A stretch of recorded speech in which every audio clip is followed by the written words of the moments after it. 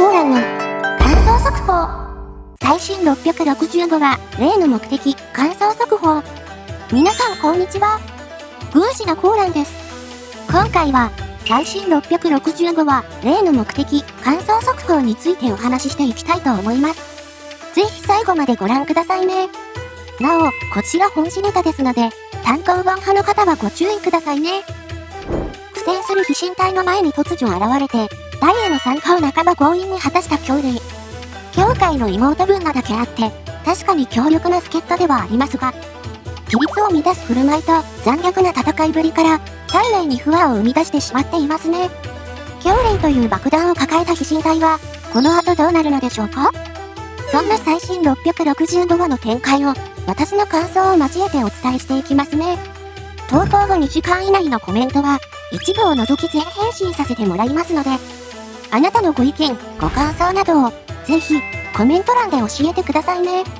もし面白いと思ったら、動画下から、チャンネル登録と高評価をお願いします。1、強戦士、強霊。前回、教会のものと似たノリとを唱え、力を解放していた強霊。本気を出したと思われる彼女の力は凄まじく、一体には、おびただしい数のほふられた長兵と、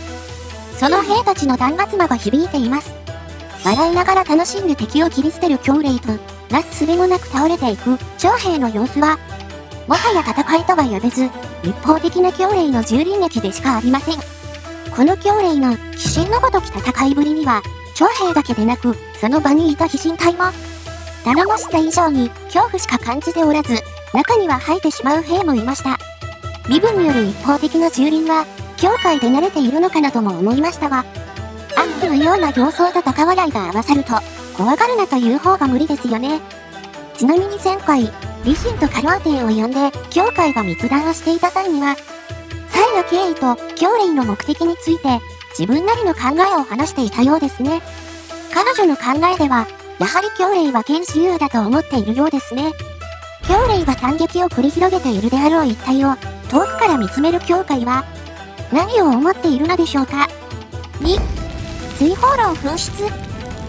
めちゃくちゃとはいえ、教霊の戦いぶりは凄まじく、彼女の働きで、飛信隊は久々に大勝利。増援が押し寄せていた長軍を撃退し、戦況はだいぶ有利にできたみたいですね。しかし、そんな勝利の宴においても、喜びに沸く騎兵たちとは対照的に、歩兵団の表情は一様に暗く、深刻な空気を漂わせています。この歩兵団の幹部たちの輪の中に、カントやトン兄弟が新人がいたというのは、ちょっと面白いところですよね。まだ新人と言える戦歴のはずですが、重長くらいには昇進しているのでしょうか。特にカントは、少佐の思いを継いでおり、タイのことを考えている様子も。カントは、教霊の武功は評価しつつも、暴走と残虐な戦いぶりを問題視している模様。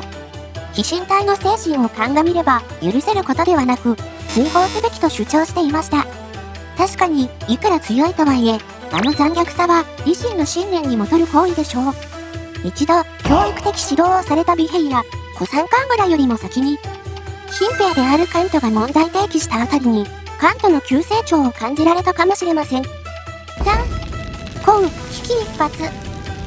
そんな思い入り混じる宴の裏側では、教霊が何やら会おうとしている様子。特に飲みすぎたという感じではないですし、おそらく私有化の影響でしょうね。真の私有になれば、呼吸の制限がなくなる代わりに、別な対象が現れるのかもしれません。その様子に気づいたコウが、勇敢にも強霊に近づき、気遣っています。何気にコウって、教会から護身術や音消しの術などを学んで、身につけていますし、実は、成長度と素質だけで言えば、非身体スイーツの際を持っているのでは足音を消すことが体に染みついているなんて、有名な暗殺一家並みの習慣ですよ。もう本気で、美兵と体調を交代した方がいいのではともかく、そんな強霊を気遣う声に対し、強霊は返答として、刃を突きつけます。やはり、絆を否定する際を経た彼女には、身体の行動は、慣れ合いと映るようで、内心では、かなりイラついていたようですね。冗談ではなく本気で、声を取りに来ており、他の大使が探しに来なければ、今頃は。しかし、この輪に入りきれない感じは、初期の教会を思い起こさせるものですが、果たして強霊は、教会のように、飛信隊に馴染むことはできるのでしょうか ?4、歩兵団、不満爆発。その後、連戦を繰り返す中でも、強霊の暴走はやむことはありませんでした。敵兵の蹂躙を楽しむどころか、ついには投降兵までも手にかける始末。もう、やっていることが完治兵と何ら変わらなくなっていますよね。この悪行が続いてしまえば、地震隊の評価も暴落してしまいそうです。山内教霊の乱行には、面倒を見ていた、数元、カイロウも堪忍袋のおがきで、激怒。李信と火曜天のもとへと、主基礎に向かうまでに。しかし李信は、教霊の件については、教会に一任しているの一点張り。なんだか将軍に昇格してからここまで、李信の様子がちょっとおかしいですよね。今までなら、教霊の行動を聞いた彼は、一番に激怒して問いただしていたはず。これは、李信の精神的成長なのか、それとも別の理由があるのでしょうか。ともかく、教会の回復も待てないほどに激怒している数元は、自身の権限を持って、直接、教霊に追放処分を下しに行きました。というか、歩兵長権限と言っていましたが、教霊は教会隊の預かりだったのでは？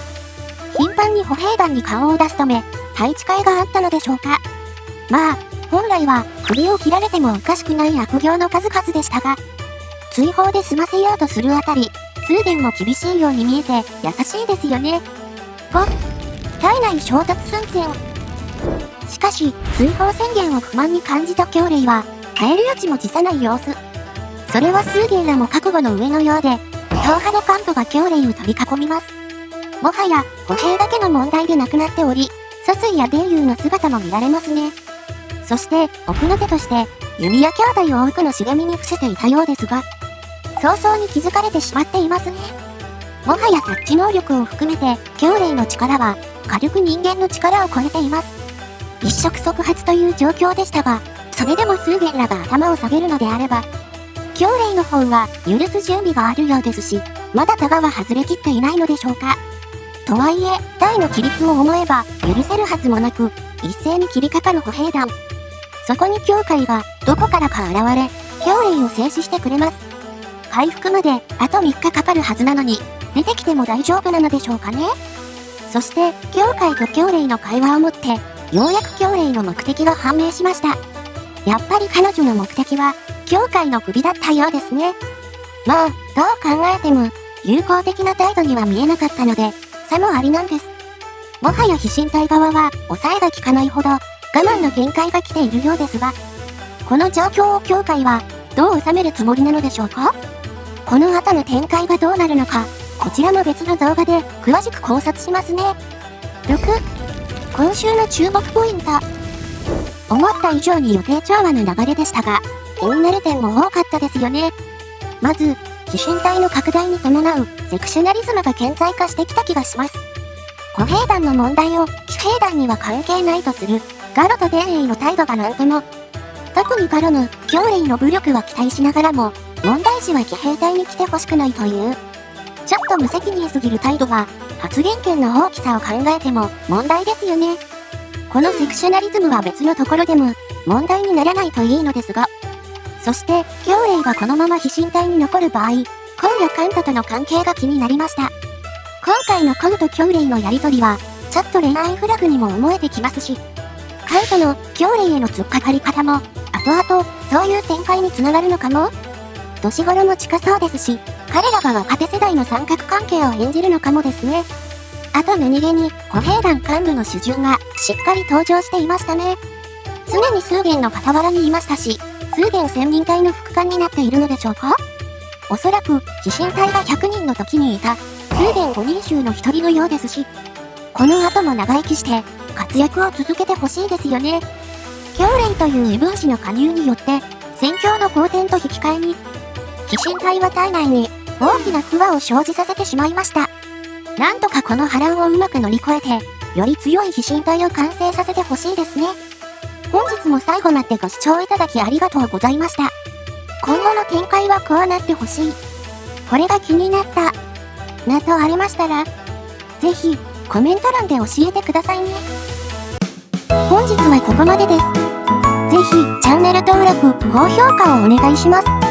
もしリクエストがありましたら、コメントや Twitter で教えてください。以上、宮司のコーランでした。またね